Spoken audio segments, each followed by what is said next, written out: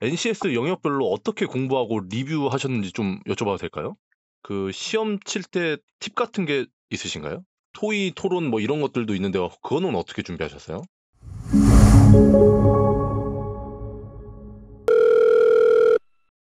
안녕하세요. 전기직 공기업 기출 플랫폼 엔지니어를 운영하고 있는 유튜버 연고맨입니다.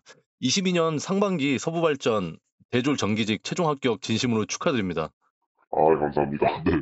선뜻 네. 이렇게 말씀해 주셔가지고 너무 감사합니다. 아, 예, 저도 돈 많이 받으니까요. 어제 합격 발표하셨는데 기분은 어떠셨어요? 아, 딱 그, 혼자 이제 그날 면, 최종 면접을 좀 말아먹고 왔거든요, 다른 기관을. 아, 네. 집에 오는데, 아, 씨, 욕하면서 이제 있다가 딱 보는데, 여기 붙어가지고 기차에서 소리 질렀던. 어, 네, 다른 기관이 산업기술평가관위원이라고, 메이저까지는 아니네요. 예, 메이저는 아닌데, 뭐, 근데, 일단, 안 될 수도 있으니까, 여러 군데. 그러니까 필기가 딱 이 시즌에 세 군데. 합격이. 네, 그래가지고, 일단 다 봤던 그런 기억이 나네요. 어, 그러면은 다른 곳에 필기 합격이나 최종 합격 하신 곳이 추가로 있으세요? 아, 네, 일단 그 서울 하나랑 아까 말씀드렸던 산업기술 평가 관련 하나 서울 네, 최종 합격했었고요. 예, 거기는 이제 대신 필기가 스페인 통해서 이제 면접 오른쪽으로 걸러서 필기보다는 면접 위주로 좀 가야 되는 걸로 알고 있고 그리고 상기평도 마찬가지로 필기 5배수인데 이게 좀 엔지니어 덕인지 몰라도 전공 평균보다 합격자 평균보다 10점 더 높게 합격했던 어, 한, 한 몇점 네. 정도 높으세요? 그 전공을 하나 틀렸었고 그 NCS는 좀 낮았던 걸로 기억이 나는데 상기평도 마찬가지로 NCS가 좀 낮았고요. 대신 전공이 그 다른 지원자들이 한 60점인가 그런데 저 69점이었나 그걸로 어, 그러면은 좀 많이 높네요? 전공을 막 잘하지 않았었거든요 처음에는. 네네. 어, 필기 보면 이제 막 그때 아마 작년 하반기 때 남부 발전이었을 거예요. 그게 회로가 X자로 나온 그 모양 기억하시는지 모르겠는데 근데 거기서 이제 저 그게 처음에 뭔 문제인지 모르는데 저는 거기서 끝나지 않았고 그 이제 엔지니어 보면서 그게 나올 거 아니에요. 그 다시 그 문제가 네, 이렇게 보관하니까. 네, 이게 이렇게 풀었던 거구나 하면서 좀 그게 처음에 전 차단자료만 쓰는 건 줄 알았는데 이게 오픈하고 막 그렇게 하는 거더라고요. 네, 그런 식으로 약간 그 회로적인 센스, insight 그런 걸 좀 얻어가고 그러면서 나중에 보니까 회로는 안 틀리는 수준까지 그랬 같아요. 어, 처음 시험 보신 데는 한 성적들은 어땠어요? 처음 시험 봤을 때 떨어졌을 거 아니에요? 처음에는 다 붙을 수는 없으니까. 네, 맞아요, 맞아요. 그 작년 하반기 그 동서 발전을 봤거든요, 작년 하반기 때. 네네. 그, 그때 점수가 평균보다 한 6점 아래더라고요. 6점. 네, 평균, 그러니까 그 평균 점수 맞은 거 이렇게 갔는데 그 6점 아래여가지고, 아, 사격 잘 된다. 이러고 있었는데, 네네. 약간 그때 너무 간절해서 그 엔지니어란 데를 찾았던 것 같아요. 어, 기출 문제를 이제 좀 봐야겠다라는 네. 생각이 좀 드셨나요? 동서 발전 보시고. 예, 그때 근데 아마 전기 기사를 한 5개년밖에 안 봤었는데, 5개년이요? 네, 그 당시에. 근데 이제 엔지니어 보면서, 아, 이게 기사가 많구나 하면서, 그거랑 이제 개미 출판사.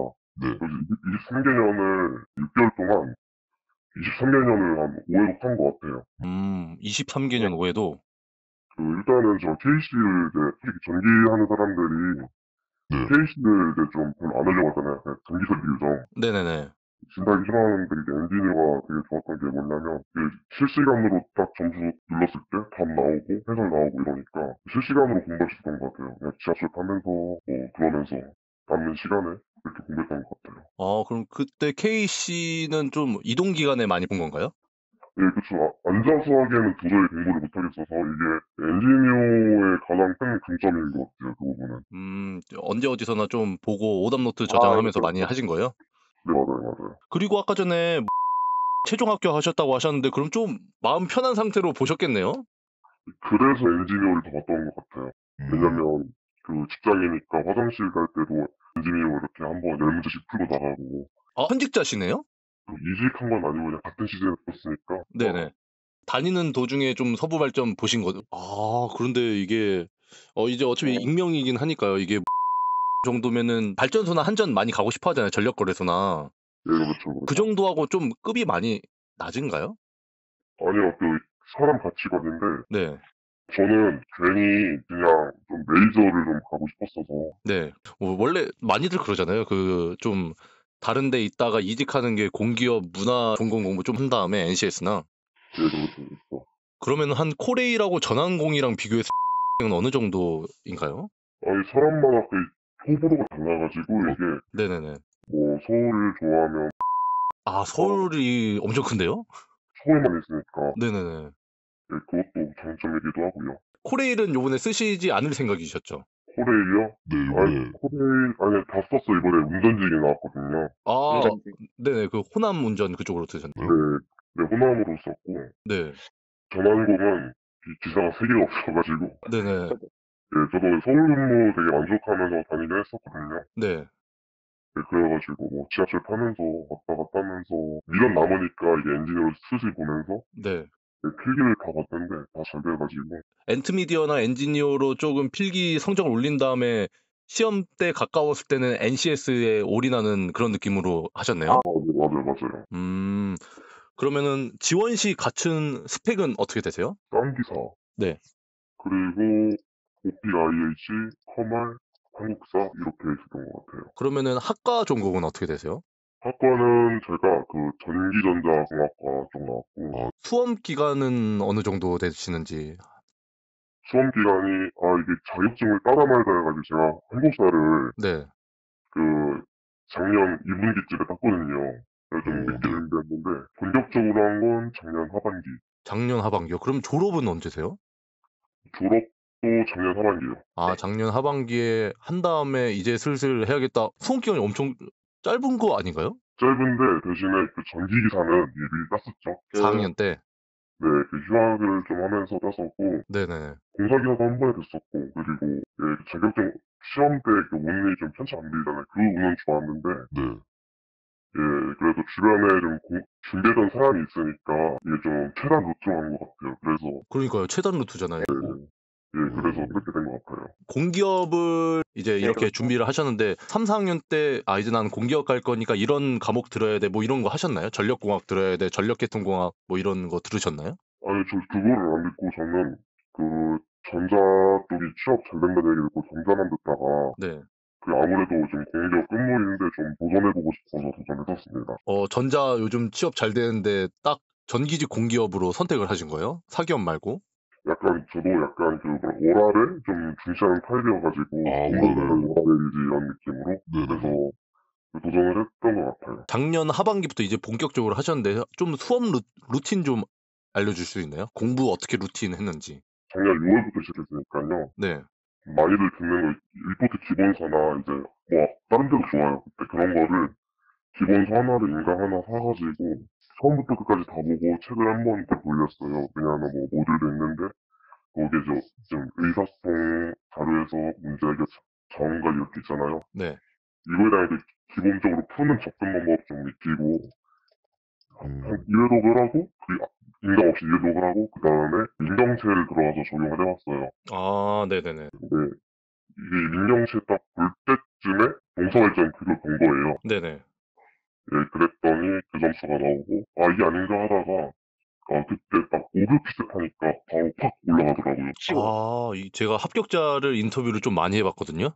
네, 근데 5급 피셋을 준비하는 사람들이 되게 많아요. 어떻게 아셨어요? 5급 피셋 해야 된다는 걸 딱?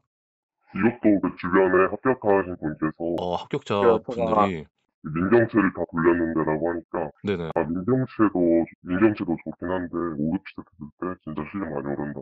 기본서는 해석하고 그리고 민경체는 한 번 한 번만 보고요. 네. 그리고 이제 5급 피셋은 한 3회독 하니까 세 군데가 합격하더라고요. 어, 혹시 그러면 5급 피셋 한몇 년치를 이렇게 회독을 하셨어요? 어, 저는 5급 피셋을, 어, 뭐냐, 지, 금 책 기준으로는 8년치, 8년치 같습니다. 아, 8년치를 이렇게 회독서하고 네, 맞아요. NCS 영역별로 어떻게 공부하고 리뷰하셨는지 좀 여쭤봐도 될까요? 일단 저 5급 피셋 기준을 말씀드릴게요. 네. 일단, 언어 논리 같은 경우는, 이제 뭐 일치부일치랑, 그리고 강화약화랑, 그리고 주제 찾는 거랑, 빈칸 넣는 게 유형이 있는데, 어, 다 똑같이 이렇게 정답 근거를 저는 그 형광펜으로 이렇게 레이팅시켜서 형광펜을 다섯 가지 컬러를 준비한 다음에, 네. 그 근거 선지 하나마다 근거를 다 채웠어요. 아, 함정 걸리면 함정 부분에도 총감에 칠해가지고 여기 함정 걸림 이렇게 적어놓고 그리고 저는 책을 책에 돈을 안 아끼는 편이라서 그 5급 책을 세 권을 사고 그렇게 했던 것 같아요. 어, 그러면은 똑같은 책을 세 권을 사신 거야? 네 맞아요 맞아요. 똑같은 책 아. 끊어서 어, 저도 그렇게 그래서- 공부하거든요. 사- 왜냐면은 제가 뭐 해설 달고 형광펜 달고 하면 이제 딱 보이니까 계속 그렇게 하- 하잖아요. 이게 오염된 문제라는 식으로 하더라고요. 교육학에서. 그래서 네. 새로 한번 아무것도 없는 상태에서 또 풀어봐야 되니까, 아, 네, 그렇게 맞아요. 하셨구나. 네, 똑같은 그러면- 책을 세 권. 네 그렇게 하면 좋았던 게 뭐냐면 나중에 공모로 또 연습을 했을 때 네. 그, 어, 왜 답이 안 나올, 지금 지문 너무 어려울 때, 아, 여기 좀 넣으려면 하면 딱 거기 나오는 거예요. 그게 너무 좋았던 것 같아요. 그 감이 어. 좀 생기고, 네네. 그 자료 해석은 뭐 양치기가 답인 것 같아요, 그냥. 자료 해석은 양치기. 네, 그냥 많이 풀어야 되는데, 그 5급 피셋으로 많이 풀면 좀, 나중에 이제 실제 시험 문제를 풀었을 때, 내가 모래주머니를 푼 느낌이랄까? 약간 그런 게 있어가지고, 네네. 예, 되게 자료 해석은 그냥 양치기가 다르던 것 같고, 상황 판단이 좀 어려웠는데, 네. 아, 이거랑 그 이제 참거지 이런 거 포함해서 참거짓은 뭐 시중에 뭐막 많이 나와 있으니까 그거 하나 작정하고 풀면 뭐 하중 이런 거 있- 있다고 하더라고요. 네.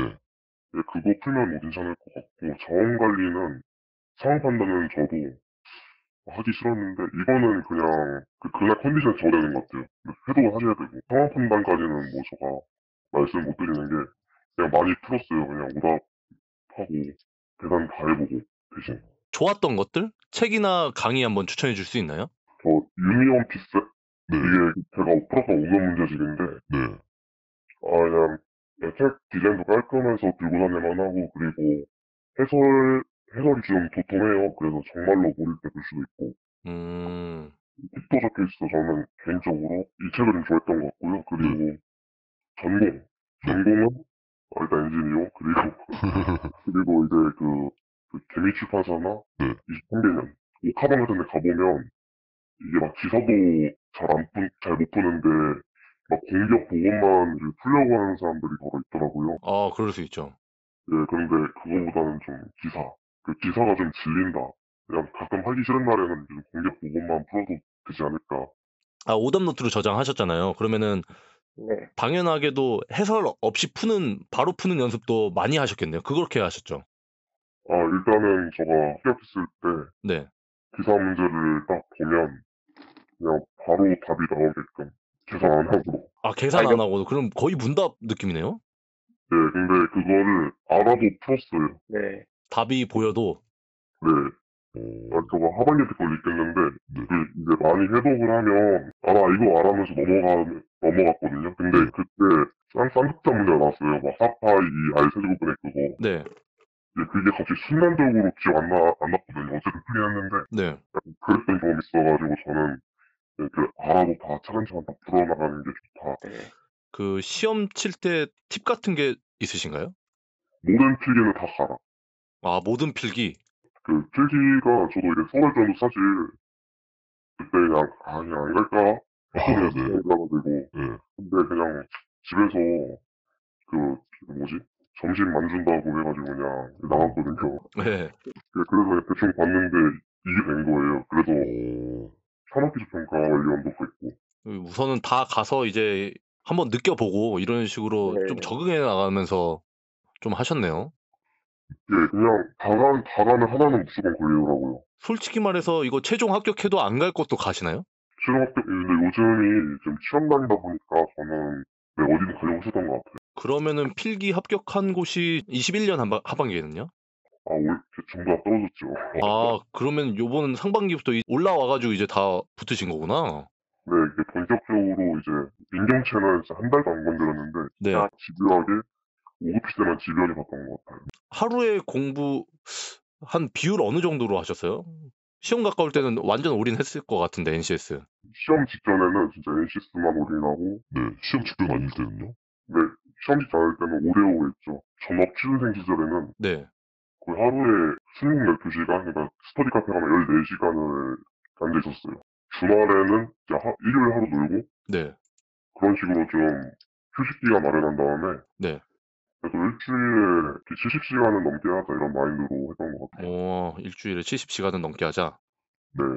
아까 전에 NCS는 어떤 식으로 공부하셔 하고 리뷰하셨는지 말씀해 주셨는데 전공 같은 경우에는 좀 어떤 식으로 하셨어요? 처음에 다 많이 틀릴 거예요. 많이 틀릴 때는 그냥, 그냥 계속 봐요. 그리고 그럼 한 번 더 회독을 하면 그 틀리는 개수가 만약에 100개 중에 30개였으면 15개로 풀고요. 네. 그러다가는 이제 계속 틀린 것만 보고 그러다 보면 틀린 거 다시 안 틀리게 될 때가 왔을 때 네. 다시 초부터 풀어오면 대체적으로 95점 넘게 나와요. 음, 그러면은 틀린 것들을 오답 노트를 많이 활용하셨네요. 쓰는, 쓰면서 공부하는 걸 추천 안 드리는 게 네. 아, 시간이. 네. 며칠 사이 바쁜데 그래서 핸드폰에 넣고 있는 걸좀 선호하는? 그런데 이제 전기 기사 같은 경우에는 사실 공기업에는 계산기를 들고 갈 수가 없으니까 어 이거는 계산기 써야 되는 문제니까 넘어가자 뭐 이런 것도 있으셨나요? 있었죠. 근데 그거는 나중에 풀고 언젠가는 풀어야 되니까 공부할 때는 다 풀고요. 네네. 그리고 왜 저는 그 루트값 다루고 다녔거든요. 루트인 막 1.414, 네네네. 그, 이거 에피소드인데, 그 상계평 때 제가 계산기를 안 들고 왔어요. 그 계산기를 쓰는 시험인데, 아 예. 예. 예, 그때 이거 루트값 외워 다녀가지고, 그래서 잘 돌파했었던 기억이 나네요. 어 계산기 안 들고 가셔가지고 아셨는데 되셨구나. 터보 발전이 한국사가 시험이 나오죠. 아, 예, 나옵니다. 한국사는 따로 하셨나요? 아, 따로 했죠. 저는 그, 네. 한국사 그, 이제, 항상 그, 그것도 이제 핸드폰 CBT로만 했었거든요. 네. 한, 아, 한국사 CBT도 있구나. 이렇게 중력 공격은 대부분 이제 본인이 합격할지를 미리 알잖아요. 서류 점수로 계산하기 때문에. 네네네. 그래서 그냥 어차피 저 풀스펙이었으니까, 아, 뭐, 합격했거냐 하면서 그 CBT 깔아서, 어, 음, 한국사 풀시는 다 풀었던 것 같아요. 오, 한국사 비율도 좀 있어야겠네. 5대 5가 아니라 한 한국사 같이 하면은 한 몇 대 몇 대 몇이에요? 한국사까지 하면 한국사를 계산할 수가 없는 게 그냥, 어, 그냥 CBT로만 봤으니까. 그래가지고, 네네. 계산을 하기 좀 애매하네요. 아침에, 아침에 1일, 점심에 1일, 저녁에 1일? 어, 그러면 한 3회 정도 한국사를 하셨네요. 시험 네. 가까우셨을 때. 네, 생각보다 얼마 안 걸려요, 그거는. 한 달 정도 기간을 두고 그렇게 3회 푸셨어요? 아, 예, 그렇죠. 다는 안 풀고, 그냥, 아, 여기, 여기까지만 풀자 정해놓고, 그냥 해보고 했어요. 그러면은 이제 그 면접 쪽으로 넘어가가지고 엔지니어 서부 발전 면접 보건, 보건방에 계셔가지고 또 같이 보건했는데 사실 네.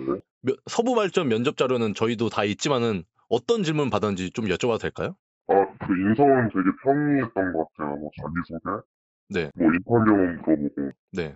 이거 뭐고, 같이 졸업 작품이나 뭐, 프로젝트 에 대한 경험 물어보고, 사업 아는 거 있냐? 이런 거 물어보는 수준이어가지고, 네. 제가 보기엔 좀 필기 점수가 어느 정도 작용하지 않았나라는 생각이 좀 들어요. 옛날부터 서부 발전 같은 경우에는 필기 점수가 제일 중요하고 이게 면접은. 그냥 아, 이걸로 가려치나? 거의 그런 느낌이 써져 있는 게 정확히는 기억이 안 나는데 필기 30, 면접 70%라고 돼 있는데 그 면접의 기본 점수가 엄청 높아가지고 필기 점수로 갈려요.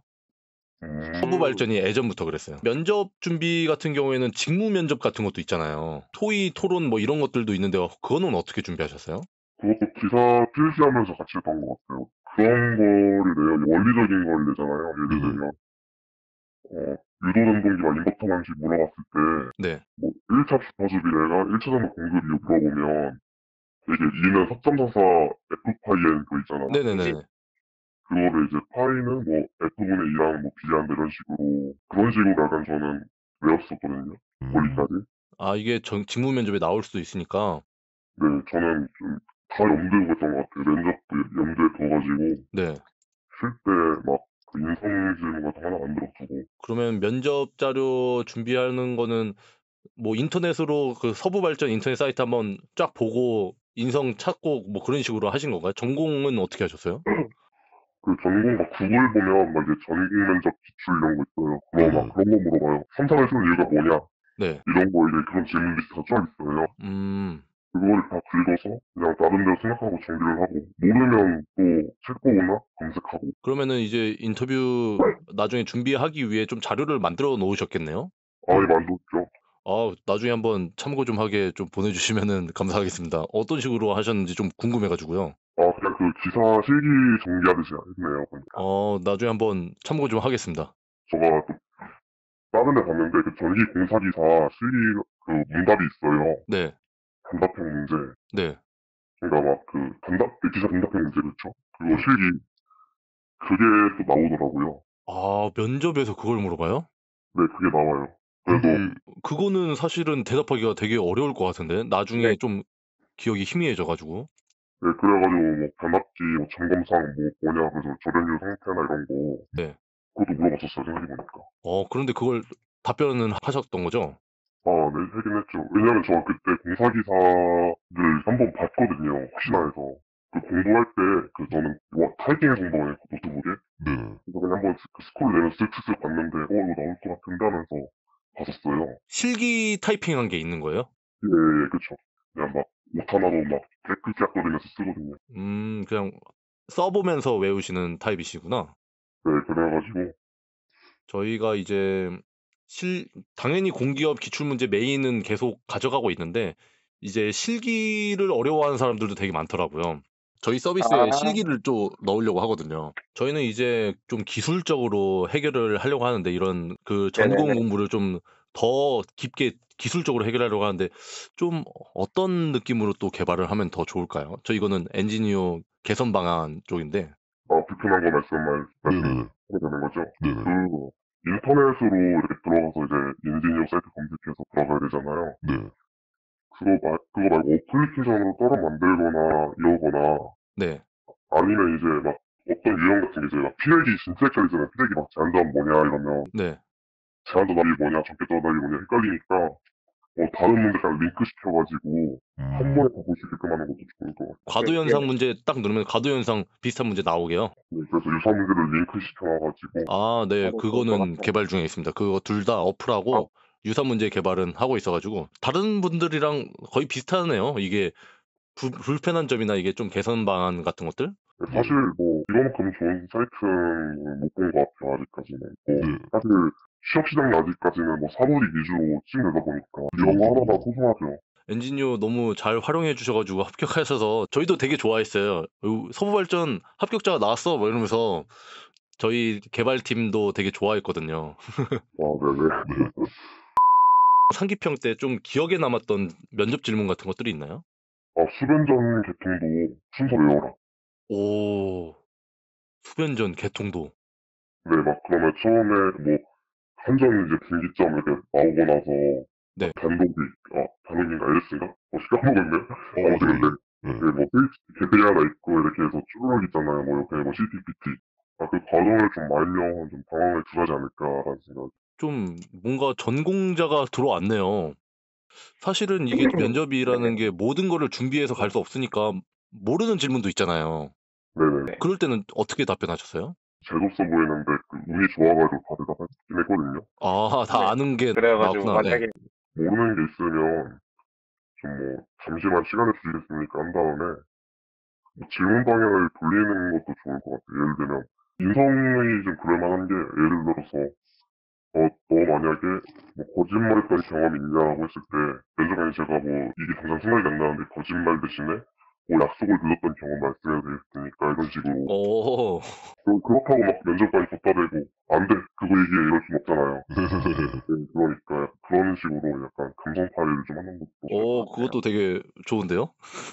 어, 그러면 이 정도만 해도 되게 도움이 많이 될 것 같아가지고 또 어, 마지막으로 수험생들한테 하고 싶은 말 혹시 있으신가요? 아이고 공기업 취업 어려운데 어, 뭐 열심히 하면 다 들어가는 것 같으니까 아직까지는 네네. 좀 파이팅 해주시면 좋을 것 같아요. 아, 네. 감사합니다. 여기까지 엔지니어였고 감사드리고 제가 기프티콘 바로 쏘겠습니다. 아 감사합니다. 네, 그래서 소- 소중한 분하고 맛있게 드세요. 아 예, 감사합니다. 네, 감사합니다.